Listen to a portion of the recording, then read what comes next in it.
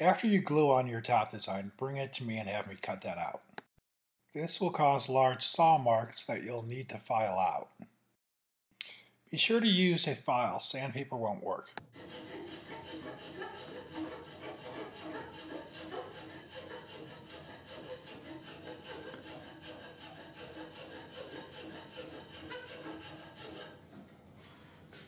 Uh, and you also want to start shaping your card now. It's kind of blocky. You can start shaping your card by simply rounding it over with a file and shaping it.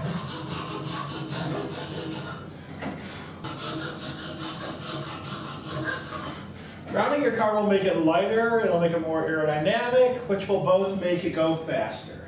You do want to support your car while you're doing this, otherwise your car could break. The final step before painting would be to sand your car. Start with the blue sandpaper, and you're going to want a firm surface Go over your entire car with rough sandpaper. After you're done sanding with rough sandpaper, use medium sandpaper. It has a red back. And you're going to go over your entire car with medium sandpaper. Your car should feel pretty smooth at this point. And then the final step is the fine sandpaper, which has a yellow backing. And when you're done sanding with this, your car shouldn't even feel like wood anymore.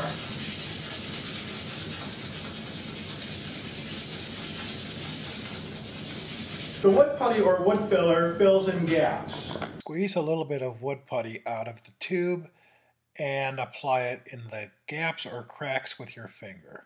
And you want to let that dry before sanding.